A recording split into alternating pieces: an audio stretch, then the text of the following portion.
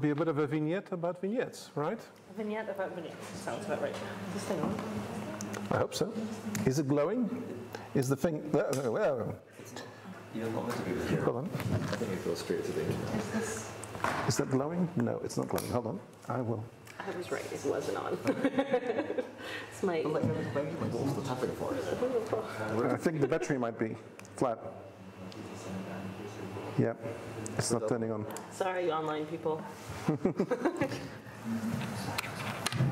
On. Do I just pull this out? Because I don't want to break it. Yeah, I do. I was worried that I might break it.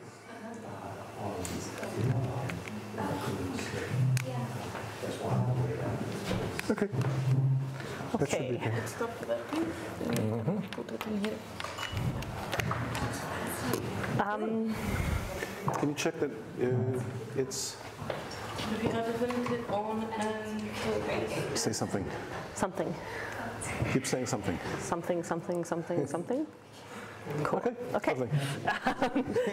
Hello, everyone. So, um, I guess I should actually introduce myself, which because I didn't put a nice slide in about who I was at the beginning of this, which would have been very smart of me. Um, but my name is Aiyana Willard. Um, I'm a psychologist, I guess. uh, I, I do a cultural evolution of religion predominantly, uh, as well as dabble in some other things. Um, so I'm going to talk about vignettes because I use them a lot. Uh, so I'm assuming this is why John decided this is my topic. Um, this is this is not the most sort of there's not a lot to vignettes.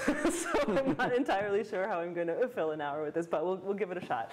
Um, i do think this is this is an interesting methodology um, but if you know if we run if i if i run out of things to say you can ask me about cultural evolution which is a much more interesting set of methods and theories okay um, so a vignette is basically just a very short story that we use in research. Um, they often describe a person or a situation, and you uh, they're used both in qualitative and quantitative research. And the idea here is, is that you elicit some sort of reaction measured either in Likert scales or behavior, um, depending on how, what your outcome variable is, but the idea is, is you give someone a situation and then you measure how they react um, in some way.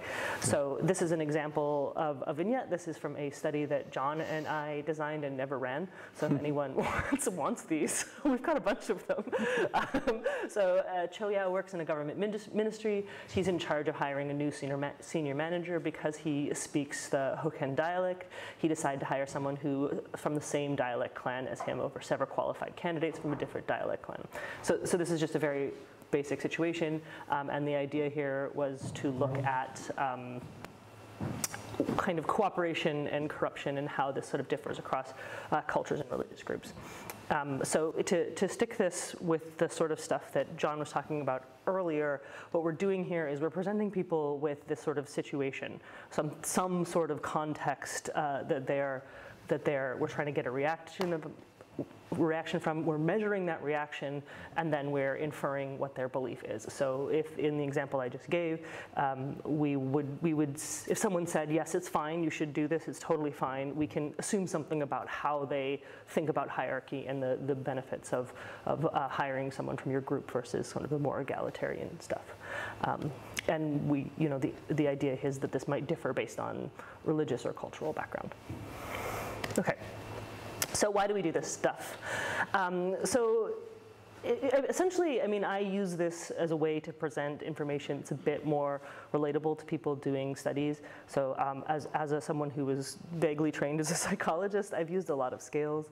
Um, my entire PhD dissertation was based on scale measures. At some point towards the end of my PhD, I did a proper statistical course on measurement theory and then decided that maybe I would never use a scale again. and I think that there's, you know, there is some validity in, in, in how we measure in this way with, with these scales, but you know, there's a lot of really unspoken assumptions there. And so this to me is just a way to present people with a little bit more what we call face valid content rather than, than looking across sets of scales. Um, so they're more realistic and less abstract than survey questions. We can kind of get at, at something a little bit more realistic. And we're kind of starting from a different, so we're not, we're not necessarily measuring belief, we're, we're sort of inferring belief in a different way. Um, I also think that these sort of things can elicit more authentic reactions to abstract questions. So in the case of you know, if, if you go back to John's talk and the idea that like beliefs don't often don't often relate to actual behaviors or they're inconsistent. I mean, for the sort of stuff that I'm doing and the theories that I'm working with, I honestly don't really care what people would say they believe if asked a question. I really want to know how it affects their behavior. So, in that sense, I think we get um, a little bit more, uh, hopefully, a little bit better reaction. Um, yeah. So people can say that nepotism is bad.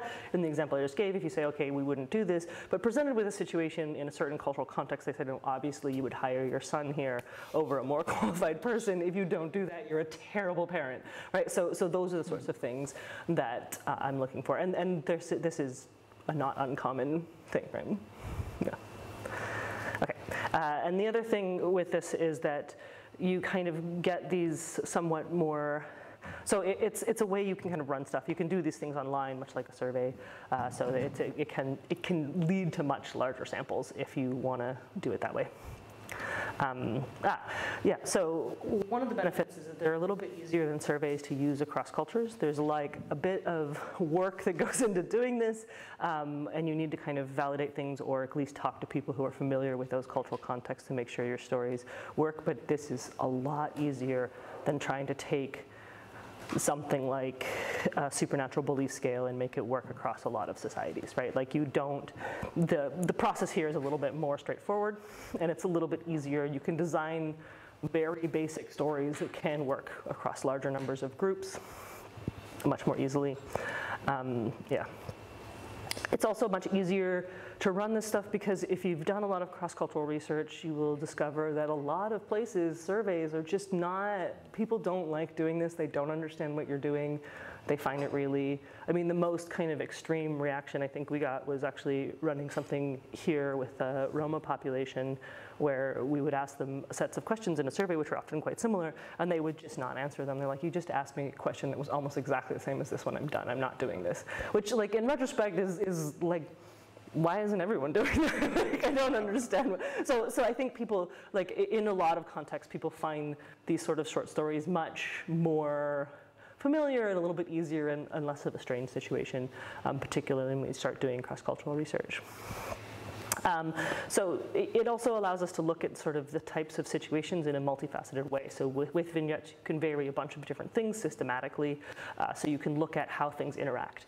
Um, so a lot of the stuff when we talk about religion research or the supernatural beliefs kind of talk earlier today, we talk about like how we're measuring, you know, little bits of this stuff and trying to put it all together. So vignettes do kind of allow you in in a minimal sense to put some of these ideas back together. You can look at how different aspects interact, and I'll give some examples in a second. Um, so you can look at things like, so something that we've done is look at like a type of ritual and a motivation for doing a ritual and how these things predict outcomes, right? So then you can, you can get a series of vignettes that include both of these variables and then you can look at how they interact in a, in a way that is not possible with survey data. Okay.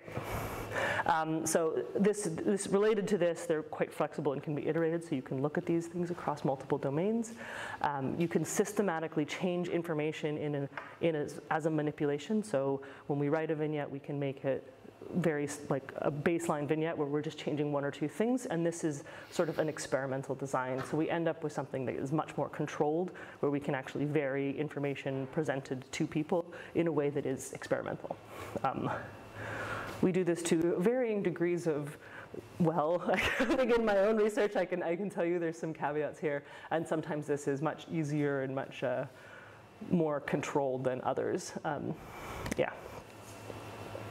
So an example of this is uh, manipulating levels of group favoritism to see, uh, to look at group differences in cooperation and corruption. So the, the example I just gave. So um, the idea, the kind of supernatural belief side of that is looking at whether or not ancestor worship um, and the sort of this idea that you have long-standing um, ancestor clans would lead people to think that they should favor members of their family more strongly. Um, we have some initial evidence that suggests that, and then we just never follow it up.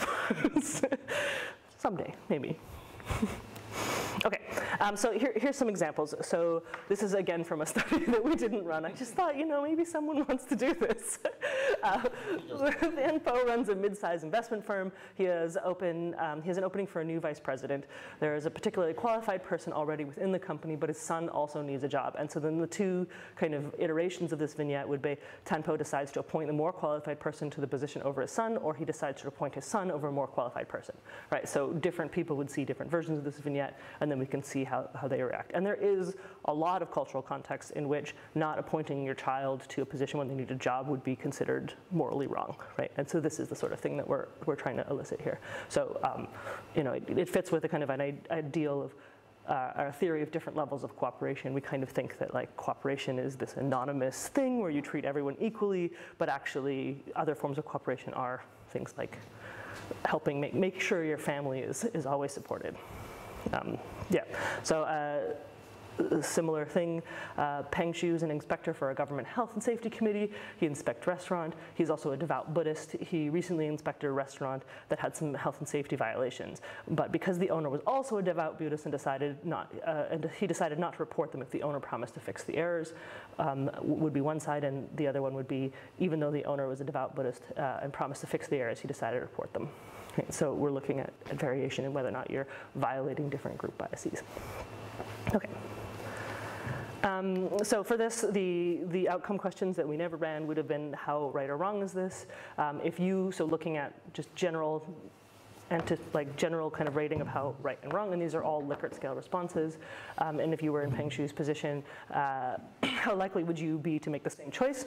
So asking people about your own behavior, and the one that we're actually particularly interested in here is how likely are most people in your community to think that Peng Shu made the right choice. So we're looking at differences. We want to look at differences in norms. And our previous study that we did, um, we just ran we, we, it was sort of a, a, version of a dictator game where we, we asked people to divide up money between, uh, hypothetical money, between different groups. Um, and we found that like there was some, some level of in-group favoritism, family favoritism amongst the ancestor worshippers above other groups of Buddhists. Okay. Um, so there's one of the things that you have to think about when you're sort of designing these protocols is how you're going to, if you want to do something that is an experimental control, how you're going to do that. So the first option here is to use the exact same vignette and only change the variables you're measuring. This is sort of the best way. so it's a better experimental design. It has kind of more, um, you can really look at whether or not just changing this variable is the thing that makes a difference here. Uh, the con is that it must be between subjects. So if you have nine conditions, you need a huge number of people, so they can, you know, upwards of 500 people to run a study like that. And yeah, so the option two is to vary the story somewhat as well as the variables you're interested in. So the pro to this is that your participants can be read more than one, one vignette so we can look at, uh, we can sort of give a set of stories that are slightly different so that it's not clear that they're just reading the same thing with subtle iteration. Um, obviously, the con here is that if there's an impact um, of the thing you varied, sometimes, sometimes you can't really tell whether it's the result you're looking for or some other uh, thing happening here. So um, an example of this, which actually I might have put in the slides later, but we, we did this with uh, a set of cross-cultural variables with the Hadza, um, and we kind of had to cut down the level of vignettes that we ran, and so one of them, we're looking at whether or not supernatural beliefs, people think misfortune happened for supernatural beliefs, and one of them was someone losing their voice, and it turns out that the Hadza unbeknownst to the experimenters who helped design this, who are familiar with them, they really think that that's frequently caused by witchcraft. All right, so then we have a much higher rate in that one condition. Luckily, we had enough of other variations that it didn't totally like mess up our study, but like we just didn't know that. So we, if we, because we didn't systematically, we gave different outcomes, different types of illness outcomes for each thing. Um, this one thing kind of skewed the results in the opposite direction of what we were expecting, but you know, a little bit of follow-up information was like, oh, right, sorry, we, we made a, a small boo-boo there. uh, yeah. Um, so the option three, and this is usually what I end up doing, is doing both things. So you make a variety of vignettes, but systematically uh, vary the most important uh, aspects. So if you have four conditions, you end up with four vignettes that are all different, different types of stories, and then there's four versions of each of those vignettes. So you can give people four vignettes, and that means that every single person sees every condition, but then you have full iterations across. So um, for stuff that I'll show you in a moment with Fiji and Singapore, looking at intentionality, we, for each of these things we had four vignettes with uh, intentionality conditions. So like there's four different stories about four different people, and then each of those followed each in, uh, intentionality condition. So each person sees four different vignettes, and then there's four different sets that go across the whole sample, and that allows us to do a much more um, smaller sample essentially, because we're, we're getting each person across each each condition while also kind of controlling for the variation. These, these this sort of setup gets really complicated really quickly when you start kind of looking across more, more and more variables. Okay. So one of the things that we've learned, I've learned, is that, that making these as short as possible is really important, using very simple language. Um, even if you're not doing cross-cultural research, particularly if you're doing them online, people get really bored of reading your stories really quickly. And if they're more than a couple sentences long, people just tune out and you lose you lose any of the effect. So you know this is this is a nice short one um, that we used in a study on karma. Ang was at a market uh, where there were lots of people there. There was an old woman who couldn't afford food. Ang noticed that the old woman brought some produce, and uh, noticed the old woman brought some produce for the for her, the woman's dinner, as opposed to um, this is the other one is sort of wanting to do it but not actually succeeding. So nice short, couple sentences, very easy. People can read this. Um, this is another one I've used that we used in this large cross-cultural study that has really very cool results, and I will never do this again. so, uh, so it's quite a long um, vignette, and what we're we're varying three different things. So, th so the Hadza example is from this. So we have, we describe a community that's like their community but not their community, and then we describe a norm. So it's expected that wealthy people help poor people in this community, um, and that most people do this thing, so we're establishing a norm, we establish a person, and then we say whether or not that person does the normative thing or not. So either they, they help or don't help, um, and then something bad happens to them, which is either an illness or a loss of resources. So in this case, it's a loss of resources. So this is really long, it's complicated. Um, the iterations across this, there was a lot of them. It was, it was a pain in the ass and everyone who did this project, which was a lot of people hated it and it's just been, it's been a whole thing. So, so I would recommend making things simpler than this and maybe trying smaller sets of variations. Okay, so um, I'm, I thought I would give some examples of stuff we've done with vignettes just to give I don't know, some indication of how this actually works. So this is a set of things we did in Fiji. So this is something I did with Rita McNamara. She was the lead on this. Um, and so in, in Fiji, it's a, a, place that has um, opacity of mind norms, so it's rude to think about other people's mental states. So you're not supposed to think about internal mental states. And so we wanted to know if Fiji, Fijians consider the internal mental states of others when thinking about punishment. And the answer is like most research of this type is that no, but it's really complicated. So um, can you see May? So the interesting variables here are this one, so this is, this is the Yasawans, these are the Fijians, this is a group of Indians, Indian origin people living in Fiji, and this is North Americans. And so what we're interested in here is, is this, um, accidental. So Fijians see that accidental harm is just, is quite punishworthy, right? So they're much more punishworthy than Indo-Fijians or North Americans. But they also see people who wanna harm someone but fail as punishworthy, which suggests that they are actually considering, even though they're not talking about this, there is some sense in which they do understand that mental states have an impact.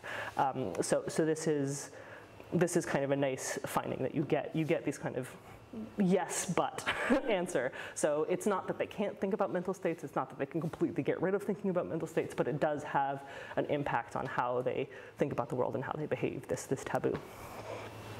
Um, I really liked the study. It was a lot of fun to read, fun to run, and uh, yeah. So, so this is just kind of the types of things you can look at. So we did um, something very similar. This is uh, the first study that we never followed up on. Uh, so we were looking at karma believers. So we did this, and then we did a second study that I won't talk about on ancestor worship. And the, the point of this paper uh, was largely that we wanted to kind of look at whether or not small differences maybe not small, but differences in how people believed things, whether or not they could have an effect on these sort of reward and punishment. So when we talk about supernatural belief, we kind of make, the, there's a lot of this, and I am very guilty of this, broad claims about like supernatural punishment leads to X behavior, um, and there's not a lot of sense of nuance. But there, there is a lot of nuance in what people believe. So we kind of, we looked at a bunch of small things. So we were interested in whether karma believers because of how they think about reward and punishment.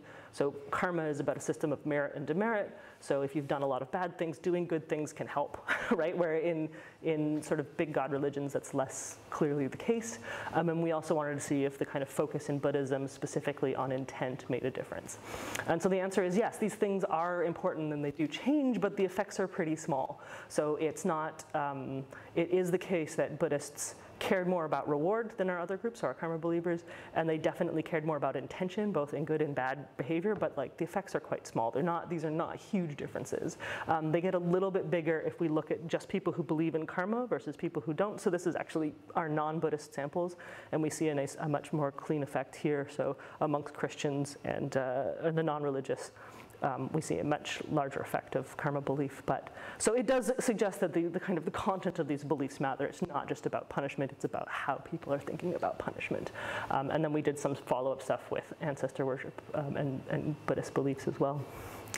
So John and I should not be allowed to design studies. We make very complicated designs. Uh, so these, these are simplified versions of the plots that ended up in the actual paper. Um, so yeah. Um, so this is that really long vignette I showed you uh, where we were looking at essentially whether or not people who um, whether or not people across cultural think that clearly unrelated, so natural disaster type things, things that can't be obviously related to a bad behavior, whether or not people think that those are supernaturally caused when they know that the person has done bad behavior in the past. Um, and so this is, so th these results here are, are, from this, again, this is sort of a simplified version of the, the, um, the kind of bigger design. But what, so I took out the normative versus non-normative because it makes the plot really hard to see and I just stole these from other presentations, didn't make a new one, so, so there, there's a second plot that I'm supposed to show you and won't that has the non-normative stuff. Um, but basically we do find that this is pretty consistent. So what this is, um, so we did find some evidence on both scale questions and free list questions, and this is from the free list questions. Um, and this is sort of a really difficult but quite rewarding way to get information um, looking at these free questions. Oh, I thought I had a thing on. Hmm, okay, somewhere in this there is a, a side on free list that got moved. so um, I, will talk a bit at some point in this, I thought it was right after this, on about free lists and why that's a really rewarding way to get data. So essentially we just ask people open-endedly to say what caused these supernatural um, or what caused this, this thing to happen, and we just code their answers um, for content, and that's how we get this plot here. So although a lot of places you have really low percentage, they, they literally can say anything they want, and we're still getting across all of these groups some level, um, some percentage of, of um, supernatural answers. The only place where we get more supernatural, consistently more supernatural answers than natural answers is Papua New Guinea. So most people will say natural things. they'll give you, or they'll give you sort of, you know, they upset this neighbor and, and, he caused the flood, or he, he did this thing, or he poisoned all of his cattle, or whatever caused the illness. Um, so that's our most common answer, but we do see for when, when they know people have done something bad in the past, they're more likely to give supernatural causes. Okay.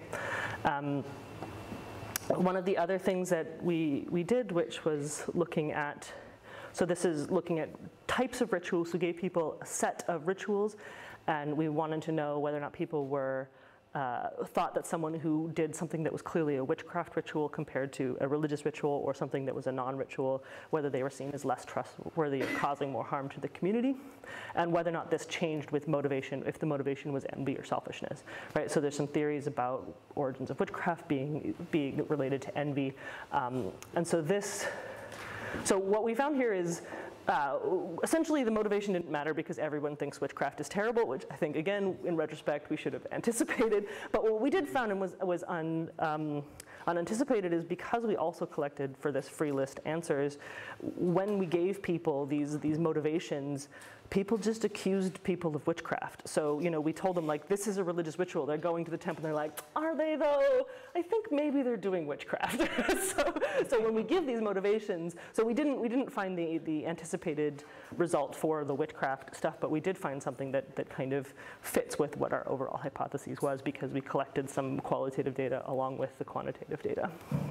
So people were much more likely in both the witchcraft and the, or the the religious and the neutral condition to say that someone accused someone of witchcraft. Um, yeah. Okay. Um, so when we talk about validity, I'm going to focus on ecological validity. So what are, uh, I think there's, it's really hard to know whether or not we're getting at something that is relevant to the real world situation. So if, if we weren't giving people hypothetical situations, would they behave? Ah, I don't know how we judge this that well. Um, so I think that the face validity is better than a lot of questionnaire surveys. So we're, we're actually just straight up asking people situations that are familiar to them. So in that sense, I think maybe uh, it's a little bit more ecologically valid. Uh, but it's, it's hard to judge. Um, I think when we do a lot of these things, and increasingly now as, as I kind of progress in my career, we always include sort of open-ended free list data questions. So we always just ask people sort of, what do you think is happening here? What would you do? like, what is the cause of this? And I think that's really helpful in, in sort of judging whether or not we're getting at what we want. So if people are without you know, without kind of, without us structuring a set of questions, um, if they're also kind of giving similar answers, that helps with some of this in judging these things. But you can't do the sort of statistical analyses that uh, John was talking about to look at reliability and validity across these things. You have to kind of think about other things. Um, yeah. So um, the other side of this is that if you actually wanted to look at say, different levels of cooperation, acceptance of nepotism um, in the real world. Like this is just not something you can observe systematically without, I just don't know how you would go about doing these sorts of things. So to get the type of data through other sort of more observational and more realistic methods, I just don't know how it's possible. For some very simple paradigms maybe, but when you start getting in these sort of more complicated things, um, it's very difficult, which isn't to say that you shouldn't try to collect some of this data as well. I think if like ethnographically maybe is a better way to think about it. So looking at what, whether or not this is reflecting in your real in the real world, but the actual kind of systematic data we can collect is not really possible. Um, okay, so uh, I just wanted to put this in as an aside. So this is something that Ben Purzycki uh, has introduced to me and has kind of forced along a lot of us and we realize is a really good way to collect data. So um, this has nothing to do with vignettes, I just like it. So, you know, we have a, vi vignette about Mikhail being uh, uncooperative and losing his farm in a flood. Um, and then we, one of the questions that, well, the first thing we ask is what might have caused him to lose his farm in a flood? And we let people answer up to five things. They can answer as many or as few as they want. Uh, and we, we then code those answers. Um, and that's that's a, a, huge pain in the ass. It is incredibly time consuming, but it's a really nice kind of mid ground between qualitative and quantitative data. So we code these things, we can do things like quantitative analyses looking at how many supernatural beliefs or how frequently people use supernatural beliefs in these um, when they list things. Um, it allows people to give multiple answers and a lot of people will. So when we talk about, when you talk about like, do super, do people really um, like when you believe that God can punish you, would you consistently think that's true? The answer, I think, from this is clearly no. It's like one of the many options that people will often say. I don't, uh, but you know, we do we do kind of we can look at the rates at which people answer this stuff, and we get really interesting kind of robust data that we then have to deal with. The other benefit, I think, of doing some of this stuff is it makes you actually really think about what you mean when you say supernatural beliefs. So if you're developing a coding scheme, you need to then define supernatural beliefs. So in this case, we do this, and I've used this, this a lot when doing coding type works. We look at causal relationships, and so we define it based on whether or not something could be plausibly based on what we know about sort of how children and humans think about you know, gravity and, and cause and effect and these sorts of things in, in sort of a naturalistic context, which isn't necessarily the same as the scientific understanding of these things. Is this plausible or not? So when we code supernatural beliefs, we do code things that are like karma or God caused it, but we also code, you know, like he's, you know, he harmed his brother, therefore like he deserved this this flood to come take his house and that's why it happened right? That is in some sense a supernatural belief. So we're looking at this sort of you've made something that can't plausibly you're saying like he deserved to be punished so then he was punished for this and there's no kind of plausible causal pathway. So we would also code that as a supernatural um, supernatural like belief. Um, so so that's kind of how we end up doing this and yeah okay. Um, so so um, again, I've done a lot of stuff cross culturally, and you know, we have a lot of problems with questionnaires, but it, it's not to say that these vignettes aren't also problematic when you take them places. So one of the things that we found is a lot of people will just say, like, I'm not making a judgment of this person. I don't know enough about them. I can't, I can't make, I can't say if they're a good or bad person. You've given me one thing they did once, and it's like, okay, but what do you maybe? so you know, it, it isn't, it isn't the case that these are always well received, but I think they're they're a little bit better than questionnaires still. Um, when you start so, you know, when John and I sit down and think of all the things we would like to measure in a study like this, we end up with insane studies we then have to cut down. Um, usually we have done this, but the one, the witchcraft one that I showed you uh, had nine conditions in it. So this was this was not done with John. This was done with uh, Dimitri Xygalatas. Um, so it was we had neutral, religious ritual, magic ritual, and then we had neutral, neutral motivation, uh, envy motivation, and selfishness motivation, which when you iterate is nine conditions, and when you show only one of those things to each person, you need a like 500 person sample, which we did manage to collect, but it was a lot of work, right? so I think th- those, you know, you kind of have to really think about what's important and whether or not it's, it's easy to get overly enthusiastic, at least if you're me. Um, and like there, so related to this, if you go the multiple vignette route, there's still a fairly strong limit on what you can do. People do not like doing a bunch of these, um, particularly if you go, if you're starting to look at places like the Hadza, they just won't answer them. They just leave. Um, and even if you do it with sort of students in, you know, Vancouver, they will finish the study, but are they paying attention? No. so you can look at order effects of this, and it's pretty, it's pretty clear that people start answering more randomly if they, um, if you give them more than a couple or three or four vignettes. Um, so, and then uh, if you make these giant unwieldy studies, it means you just need massive samples to do this. Okay. Um, so, sorry, there's a spelling error there. So one of the other things, so we've, we've tried lots of different ways to um, deal with this, and one of them is to have more varied vignettes, so we can kind of look at more things, but um, I mentioned this before. So we did this with the, the supernatural beliefs thing. So we had, we had a lot of different stories. People could read multiple sets of these vignettes. Um, and we found that in one vignette specifically, which happened to be good behavior vignette, so didn't even like bias it in our favor, um, over 50% of the people said it was witchcraft. Right? And this was not common across any of the other things. And it's specifically because we changed the outcomes across vignettes. And this one was losing your voice. And this is just something that they think is caused by witchcraft. So um, again, we had enough data that it didn't like cause problems. We have this one sort of outlier when you look at the data. It's like, what happened there? Hmm. Um, and it's just, and it was just something that we wouldn't have anticipated because, yeah, people seem to believe the Hadza don't have supernatural beliefs, but they clearly do. Okay, um, that's it. Uh, I, I like to end my talks with a slide like this because I just think it's important to recognize that we, there is very little of this domain we've actually explored. So when we talk about things like supernatural beliefs and, and how we measure them, you know, we're very focused on a very narrow set of things still, and there's this whole ocean of stuff we haven't even considered. So you know, we've we've tried to do some stuff with kind of more varied, looking at witchcraft beliefs and, and how this affects different types of behavior, or looking at how karma and ancestor beliefs kind of interact. Um, but we still, the field is really focused on Christianity and Christian type beliefs, and I think that that's really narrowed what we think supernatural beliefs are, what we think the the outcomes of supernatural beliefs are, like what we think the consequences to behavior are, um, and I think it's it's important to kind of think about what the what the space is that we haven't actually explored.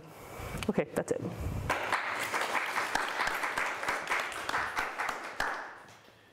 I should say that we did not obligate any of the speakers to talk about work that they did with me. I just happen to have done a bunch of Coincidence. Sure, sure.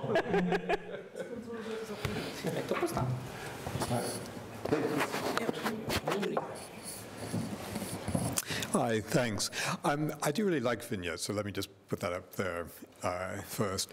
I, I guess one of my concerns is that often respondents are kind of filling in the story mentally in a way that you didn't particularly like or want, and I think you alluded to that. So um, you know, with the example, and this had to do with identity or in-group preference rather than uh, belief. Uh, you had the devout Buddhist who was the restaurant inspector, and did he, didn't he let off the violator?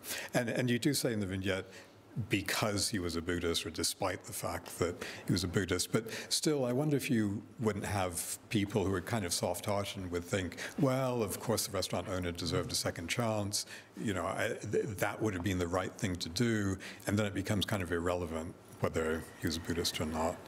Yeah, so I think that's absolutely true, and that absolutely happens. So. Um, the one side of that, I think collecting qualitative data with it really helps with that. So it's really much easier to tell when you've messed up, um, and that's really helpful. But the other thing is, I think like when you do these things, part of using larger samples is that unless that's systematic, it just comes out as noise. So as long as it's not, as long as we can, we're confident that a, a, lot or most people are doing this, um, and that it's then that kind of that response shouldn't. If, if someone has seen four vignettes that are four different stories and they have different sorts of in-group out-group bias, they, they presumably would answer all of them uh, in favor of like giving being more lax. Uh, so it just comes out in the model as noise, provided you have a long, large sample. I think with any of these methods, you know, as soon as you get into the quantitative methods or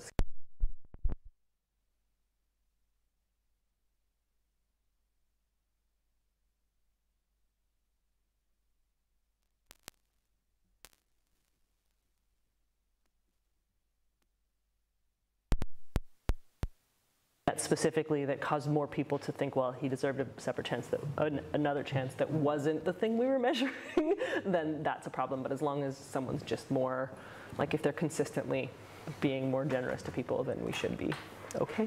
I hope. uh, so I think I have two questions. But uh, so my first one is, uh, so you, you know when you hang around like anthropology types or cross-cultural psychology types, you hear like two attitudes expressed, right? So one.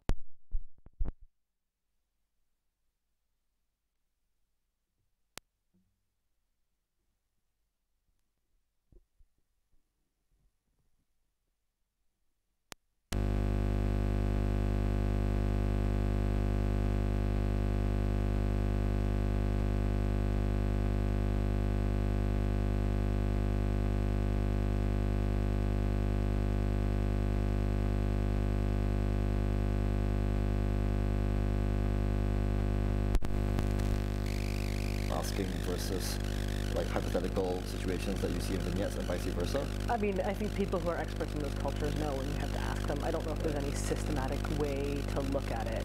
Um, I think, you know, the, the, major systematic prediction is like formal Western education.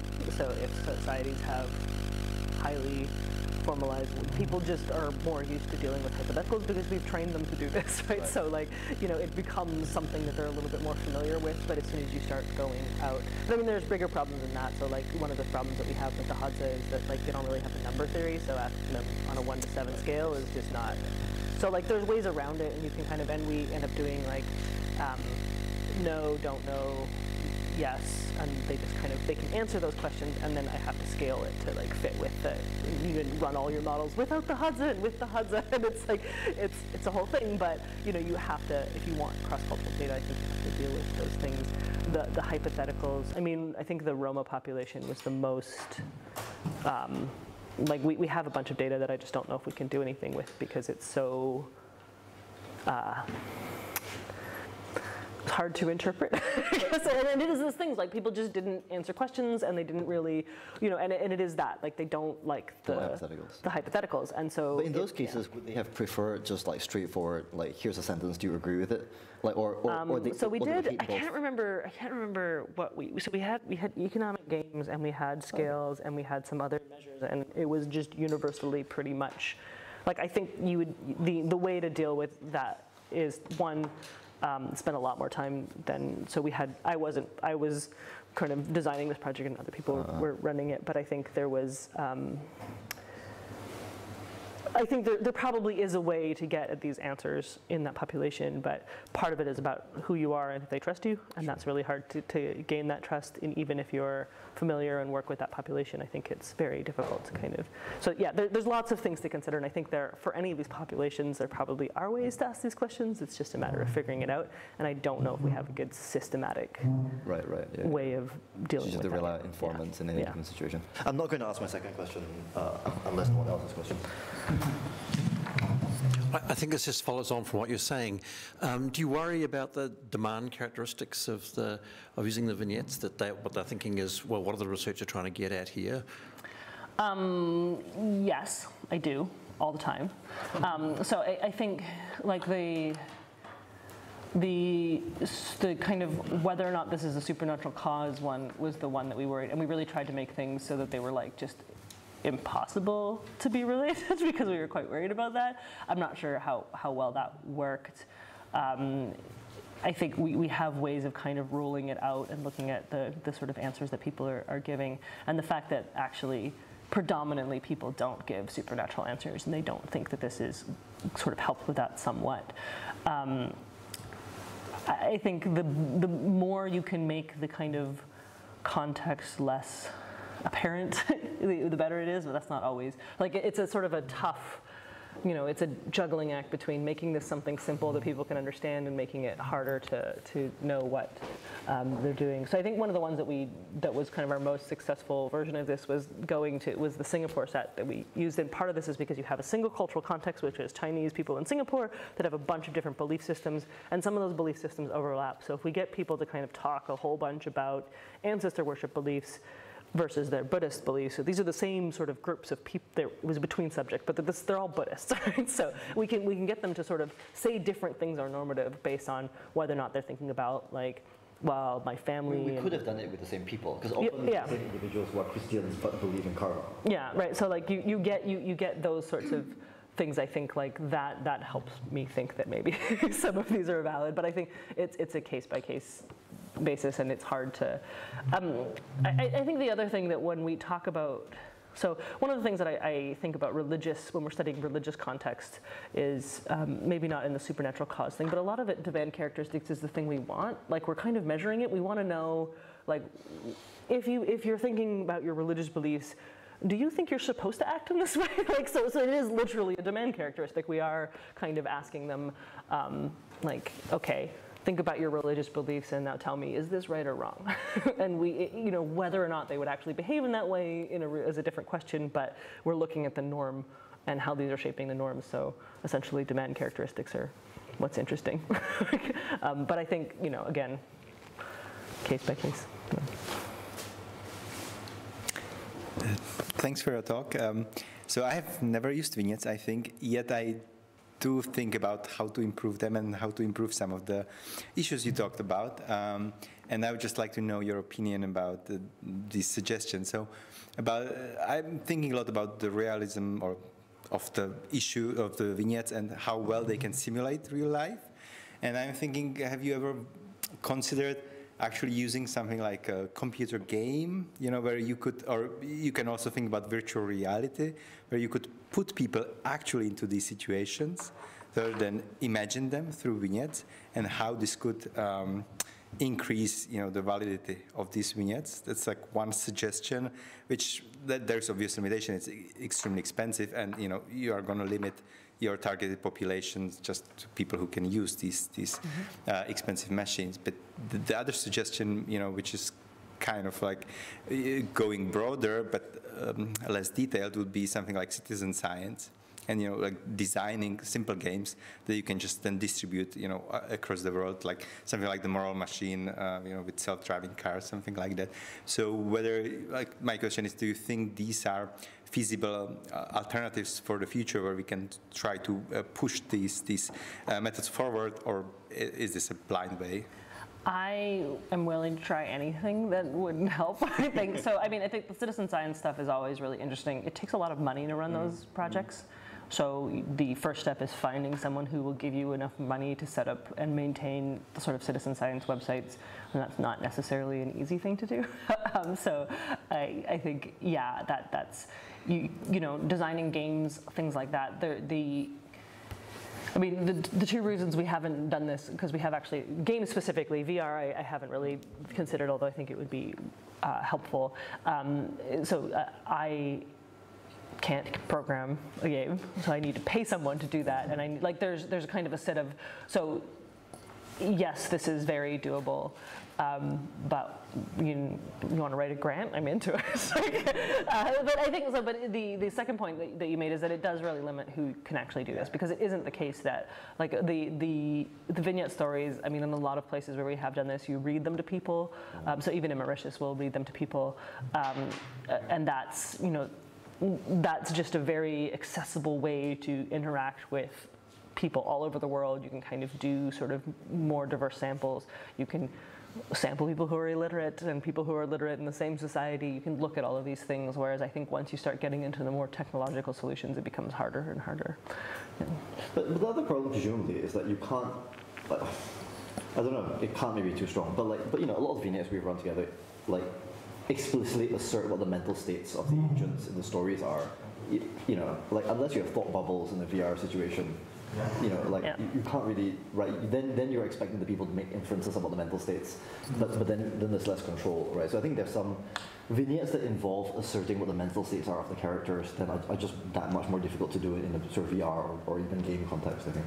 But we have done stuff like we've, we've included pictures, we've done cartoons with various things, so that, that makes it a little bit more like, um, I don't know, maybe realistic, or like a little bit, there's a little bit more going on than, than just a verbal story. But um, I think there are lots of ways, you know, the more realistic, the better, but there's limitations to all of this stuff. So, very quick follow-up. I, I totally agree, and you know, during my career, I often found that just pen and paper. Yeah. It's, it's like either highly correlated or it's the same level of validity. It's just and super cheap. So you know, I'm just not saying you know we should go all Yeah. high tech, but you know maybe we should just at least try and see whether. Yeah, I mean, I, I, if, if yeah, I'm into it. I would happily do it. we actually we have a we have a VR headset now in our in our um, research center because we were trying to get like a bunch of like a printer and tablets we put into this project fund and they basically told us our equipment wasn't expensive enough to, to so we like we now have a VR headset because we needed to spend like three grand more to like fit into this fund. So yeah maybe maybe we'll start doing VR uh, someone has to use that or we're gonna get in trouble. Is that, am I done? All right, well, it's uh, now three o'clock, so we probably should break up for a coffee break. In half an hour,